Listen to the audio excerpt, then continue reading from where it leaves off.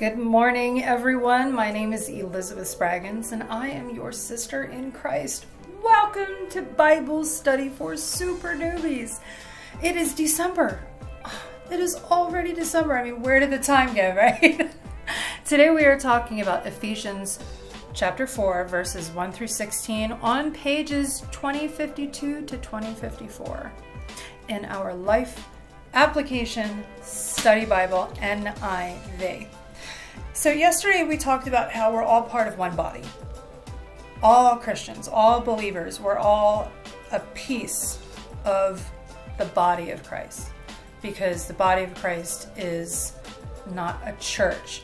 The church is not a location. All of these things means a group of people. That's what it's describing.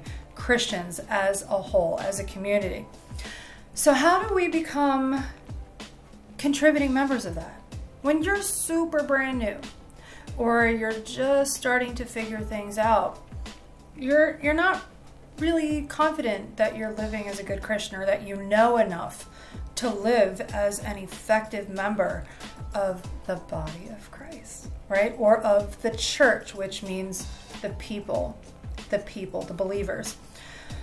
So, how do you give? How do you commit to that, even when you're brand new and there's still so much you have to learn? Well, Paul was talking to the Ephesians and he was telling them how to do this.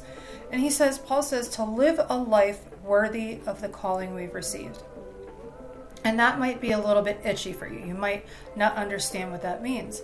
But when you accept that gift of freedom from slavery to, to sin, when you accept that gift of salvation, that you are saved from damnation, right? The damnation of sin, that sin dies with the body. All right, we won't go back over that, but I'm just saying, when you accept that gift and you finally get it, and you want to give because that's what we're supposed to do. Paul says to live a life of the calling we've received, which is to be a part of the body of Christ, a part of the church as a body of people, right?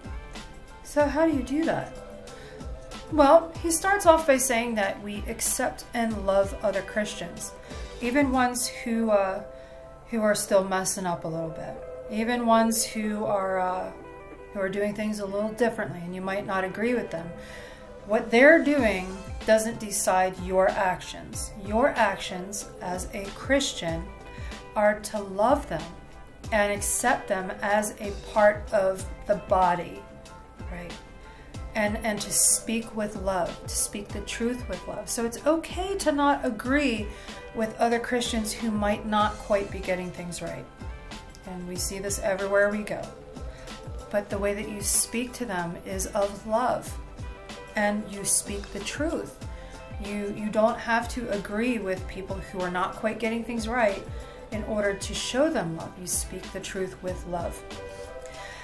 Paul also talks about how we are meant to use our gifts to build the church. Now, God has called on us to grow disciples in every nation.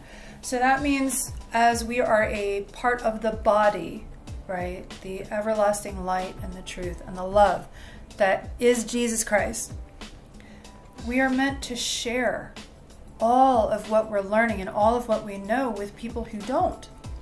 Because how would people know how much God and the love of God and the sacrifice of Jesus Christ is affecting us unless we tell them, unless we show them. So another another uh, thing that Paul's talking about is to live a life worthy of the calling we've received, because sometimes people will never speak to you. Sometimes you may never meet people, but they are watching. People are watching you and they are watching how what you've chosen as a follower of Jesus Christ, as a Christian, how that's changing you, how that's changing your attitude towards the world, how that's changing your behavior in your own life, how that is changing your presence in your community.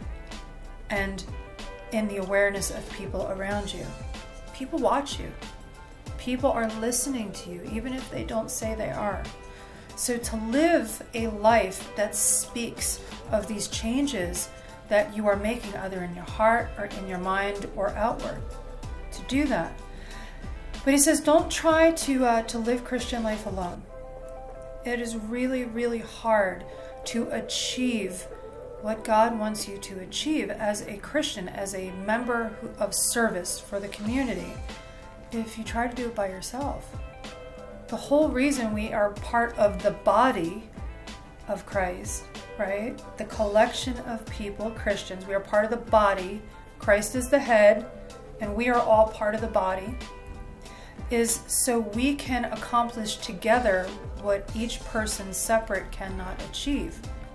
So to find a church, to find a group of believers, to find uh, people who can support you when you don't have the ability or the knowledge or the energy to do what you are meant to do. These people will help you. The Holy Spirit will work through people, other believers, to, to fill in the pieces that might be missing that you haven't quite developed yet. And that's amazing. Because when we say that you are never alone in Christ, you are truly never alone. You are never alone. You've got this Holy Spirit who's such a fun guy. But keep in mind, every one of us has the Holy Spirit.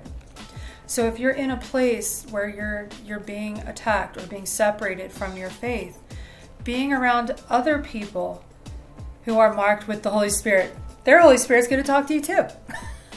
it's so great. So you're never alone. You're never alone.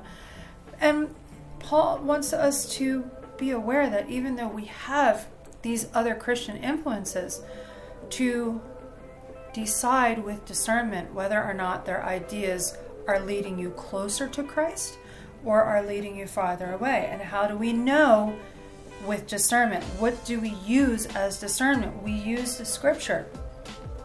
If you ever have questions about whether instructions or advice is good for you in Christ life, look it up. All of the answers you ever need for anything is in here. It is in here, all of it. Or speak to uh, speak to a, a church leader, um, talk to other Christians. But everything that is meant to bring you closer and grow as a Christian is in this book. And by book, I mean the Holy Bible. I happen to understand this one the best this one happens to help me grow the best. So always be careful with advice or ideas that other people bring into your world because not all of them are going to be good. Most of them, if they're from other Christians, might be well intentioned, but some of them are sneaky out there. But people always um, don't be afraid of, of that sin when you make mistakes that it's going to destroy your ability to keep witnessing. None of us are perfect all of us are going to continue to sin in one way or another, whether it be physical or mental or with our, our service. But that doesn't mean that you still can't be an incredibly powerful witness for the love of God and keep helping people to find the love of God and salvation. Every Christian, whether brand new, whether lapsed, or whether actively wonderful in, in service, all of us it is our obligation and our duty to help other people see why we've chosen this life. So it doesn't matter if you make mistakes. It doesn't matter if you have a lot of work to do on yourself. It is still a gift that we are called to give to the world and unbelievers to help them see, even the mistakes. Because there are people out there who are still living deep, dark, awful traps, awful, awful prisons of sin that don't believe that they can be forgiven. I was one of them. For decades, I avoided God. I avoided accepting Christ because I thought my decisions were so bad. There is no way that God would love me. And there are other people out there who feel that way. So if you make mistakes, allow it to be seen. Don't don't deny them. Share them with people and share how you are still saved.